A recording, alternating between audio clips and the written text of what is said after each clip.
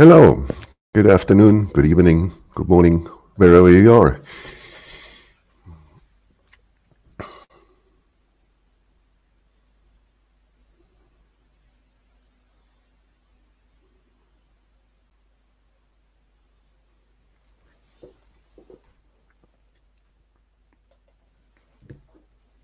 That's a good question, Will.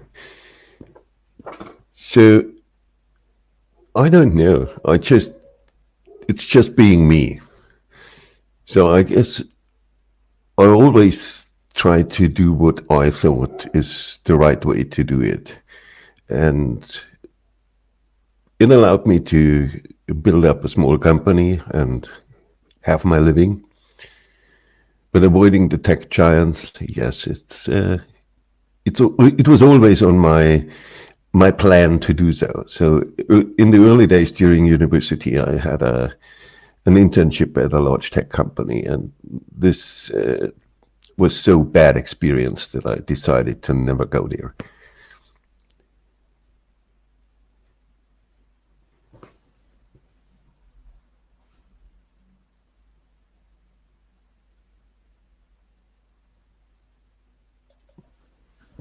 Predictions for the kernel? Oh, I don't know. This is hard. I mean, it's all going to go towards more accelerators, towards more virtualization, towards more performance, and whatever. It's, but the the the use cases are getting broader. So it's it's not only the, the, the enterprise stuff getting more attention. It's uh, all over the place, and there's a lot of overlap in the in the application space. So people have to to work closer together to solve these problems.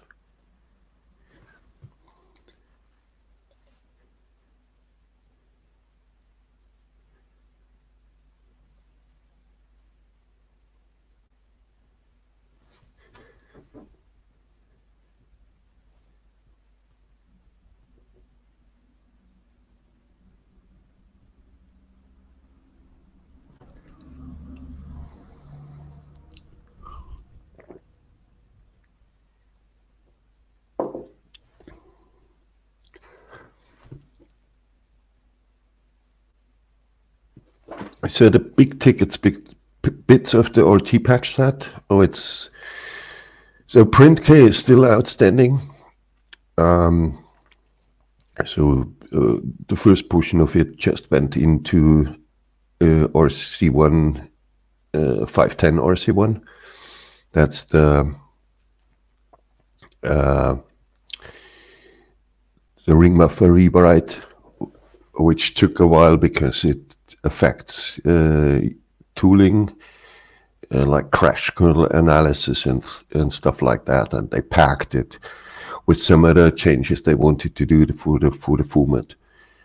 So what's outstanding is yes, the most of the locking core stuff, but that's pretty pretty self-contained. So aside of Peter hating it, it should be not that contentious. So migrate disable stuff is is is on the way, I think. And then or the that's the big ports. I have a, a patch that uh, I'm polishing now for for the soft IRQ handling on RT, but that's not uh, not too bad.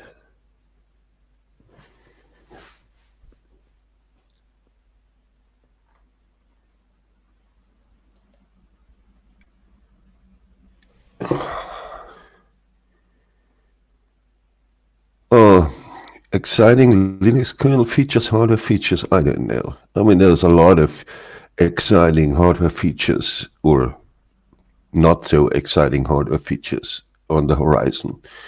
People are trying to make it, to make it work. So I don't see anything really outstanding. It's just building on on top of what we have right now. So it's I think yes, it's it's the accelerator stuff. It's the multi multi multi multi device stuff which you can hand into containers and VMs and what, whatever. But it's so it's not nothing revolutionary. I don't think there is anything which will just turn the kernel around uh, revolutionary in the near future. Maybe the Rust proposal was fun. It might it might make sense, at least on the driver side.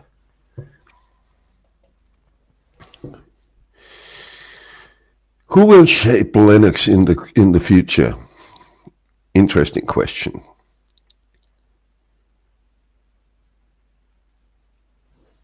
I think there's still room for individuals. You just have to have the time to do so. So I consider myself as an individual uh, contributor. I mean, I'm backed by a company, but not by a big corporate like Google or Microsoft. So there's room, uh, but but you have to have broad shoulders to to fight against those tech giants. But at the very end, I think even if a lot of the tech giants will uh, contribute most or a, or a, a, big chunk of the of the kernel, then they still have to agree with, with each other. So so the collaborative model and the consensus model will not go away.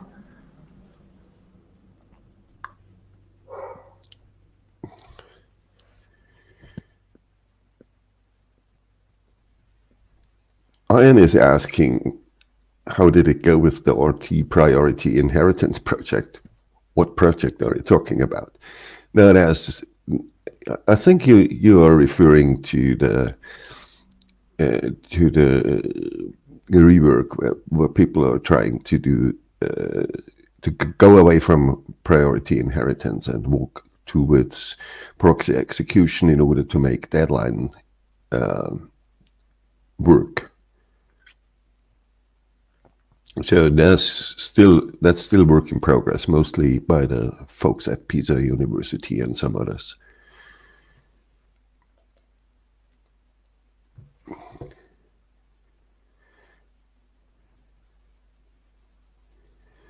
Uh, Michael, so there is no requirement that the mainline drivers migrate to threaded IRQs. So we've just force thread them. You can force thread them in mainline today. So they don't care mostly. So we just found a few uh, things in the networking code where people make assumptions that this can't happen, but it happens. So, but that's that's rather um, small and minor issues. So and it's not a not an RT problem at all. So once you you issue forced thread uh, threading on the kernel command line, you run into the same problems without RT.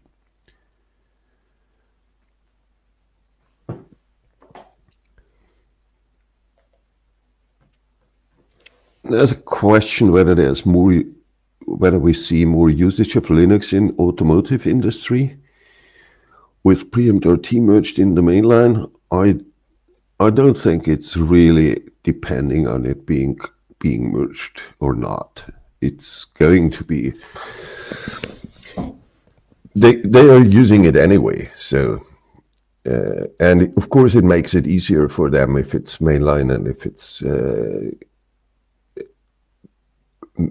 going the normal route instead of having an, an extra patch set and having an extra stable tree and things like that. So it makes stuff easier, but it, it's not going to be more more usage. I mean, they there are tons of options. Not. Uh, so Thomas is asking what the issues with tasklets are tasklets are interesting. It's a so the it's mostly the implementation which sucks. So it's a it's a way to to defer arbitrary callbacks into soft IRQ context, and it's semantically ill defined.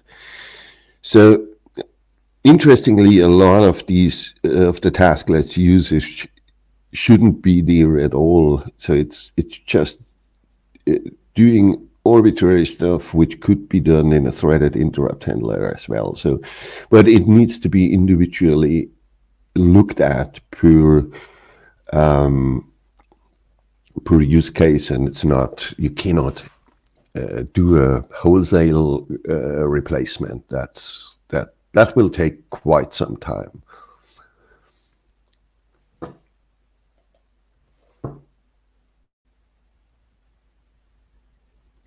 Um, yes, I think that Linux will can see disruption by smaller OSs from the bottom up, but this is not uh, not a surprise. L Linux has grown out of the oh we run on everything from the smallest microcontroller to to the largest server thing.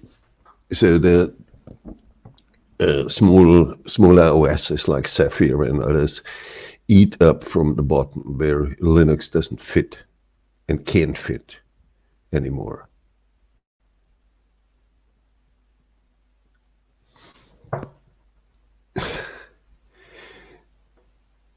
So that's a good question. So yes, Linux per se is not a real-time operating system, but we have patches which and and they are gradually merged, which turn it into a real-time system. But it's it's hard to claim it's it's really in the in the tradition of um, real-time operating systems which were designed from ground up to to support real time. It's it's close, but it's not mathematically provable. So it's it's a best effort, but with quite some success, and it's the the most scalable um, uh, real-time system on the planet, which runs on logs on large machines.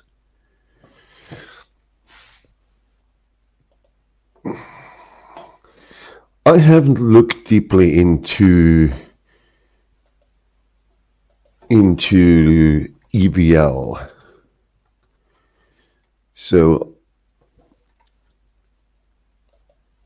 I can't even even tell what it what it what it actually does.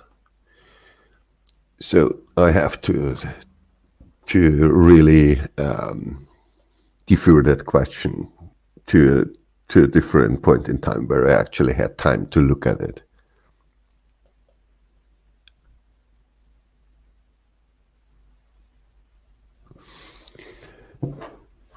No, I haven't written much Rust, but I like the concept of Rust. So it's, I mean, it, it, it Rust would help to avoid quite some of the problems C brings along, especially with people who are not aware of all the nasty shortcomings of C.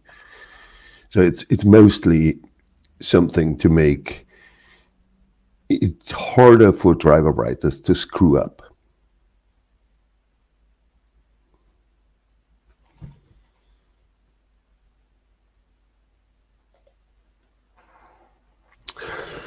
Ah, oh, SIMD in kernel space. Interesting question. Without begin end? I don't know. It's hard to tell because the, the main problem for that is that if you want to do that in all contexts, including interrupts or soft IRQs or whatever, then you have to push to save and push uh, the the the SIMD state or whatever XSAVE state onto uh, the stack at every interrupt entry, and that's going to be not cheap. So that needs a lot more thought than just okay. Let GCC auto, auto vectorized code. It's not that trivial because the you carefully have to weigh the performance impact of saving uh, the register state on exception entry or interrupt entry versus what you gain in the code itself. And it's I, I think that you have to to try and figure out whether this actually works. I mean, technically it works. It's it's not the problem, but um, you have to carefully weigh whether that's um, something uh, which actually brings a, a, performance benefit versus the overhead of saving and restoring the register banks.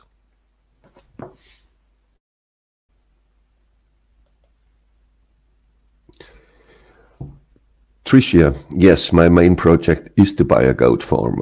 Unfortunately, I don't have to, enough time to follow through on that. There's way too much kernel stuff keeping me busy. So, but someday um, I might just throw the kernel stuff aside and go for the goat farm.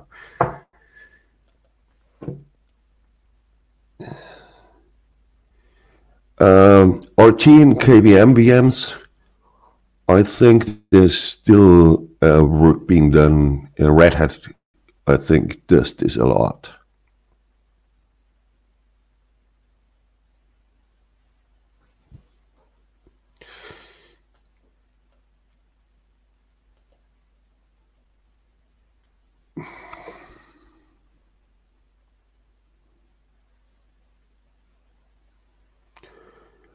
Mm.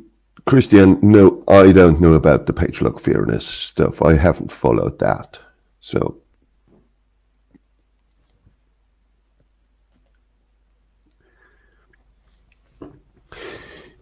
Oh, DPDK. I mean, DPDK and raw sockets, you can't compare that. I think what you really want to look at is the question whether you can use XDP versus uh, DPDK, which is um, still leveraging the the drivers in the kernel and uh, the whole uh, kernel facilities with all the the good things, uh, but has avoids the, the, the overhead of of crossing the syscall boundaries and things like that. So yeah, there's there's an advantage in in using DPDK, but the DPDK based on XDP is what I would suggest you look into, not add uh, DPDK uh, re-implementing a complete driver in user space. That's a total mess.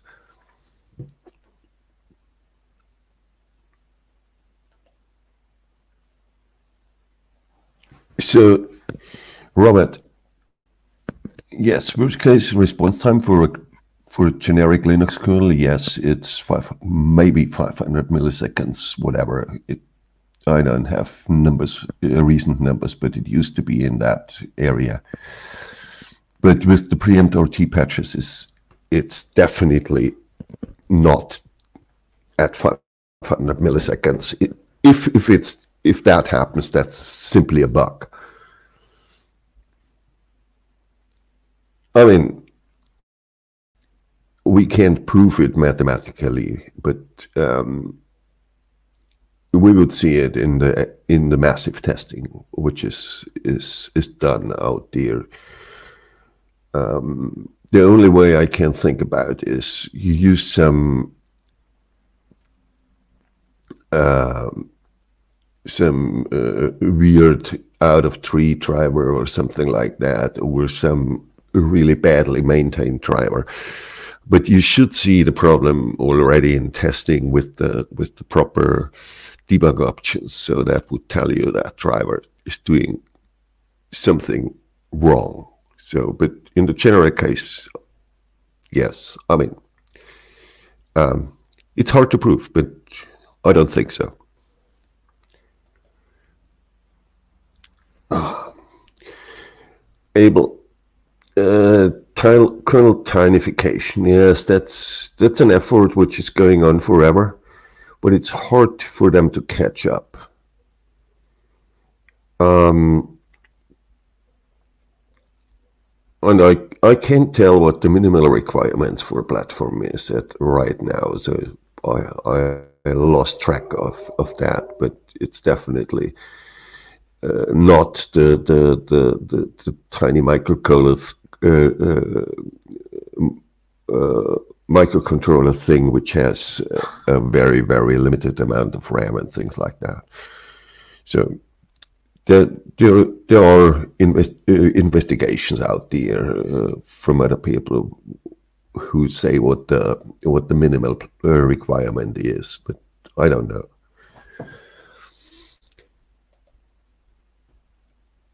Uh, Drew, one microsecond on a modern Intel AMD server? You're kidding.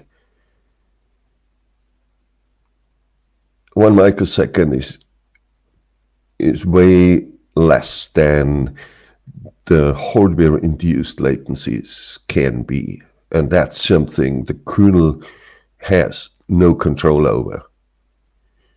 So if you look at uh, things like um, DMA, uh, bus contention, or whatever. It's extremely hard to guarantee a one microsecond on on such a on such a machine because they are not built for that. As a worst case guarantee, that's just. I I think it's an illusion. But um, so if you really need need to to handle that. You you should have something which is less complex, and there are a lot of approaches out there in industry where you just use things like um, uh, FPGAs or or some uh, site controller which does the real, real, real hard to hard to uh, achieve one microsecond thing and then you offload um, this part of the real-time computation to that uh, accelerator or whatever you name it. I think that's more realistically than trying to say, oh yeah, we can do the one microsecond on a modern AMD server or Intel server. I think it doesn't make sense.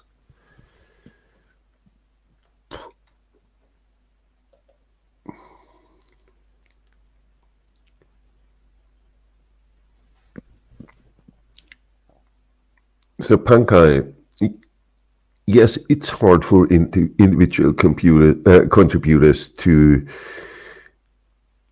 to watch what in multiple subsystems is going on if you want to contribute something which overlaps these subsystems. So it's hard, even for for single subsystems, depending on their activity level, it can be hard to follow.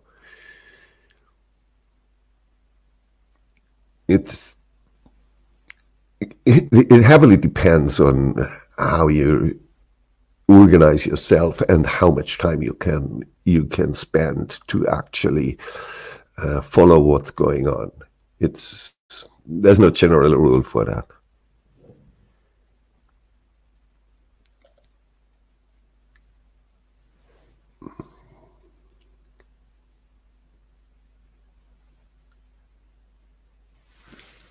Um, versus the the patch series, which is thrown over the fence every six months and then people disappear. yes, I mean, if there's really value in the patch set, I mean, if there's there's um, well, you, if there are fixes, you really should uh, pull them out and and just polish them up and and apply them. Um, if it's something which is uh, actually making it easier for um, um, for your subsystem to to be maintained or gives gives you a better code uh, structure or whatever, then it's worth as a maintainer to actually go there and and and do the dirty laundry. So, when but look at it, and there's again no general answer. It depends on the quality of the patches or on the quality of the approach. I mean, if the approach is good, why would you throw it away?